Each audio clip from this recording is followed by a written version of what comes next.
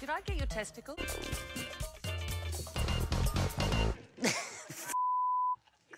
Freestyle! This is going really well.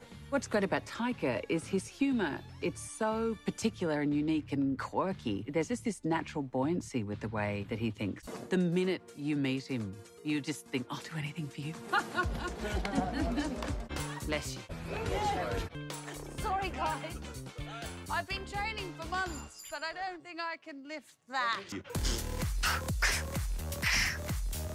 Do I, I shouldn't make the noises with my mouth, should I?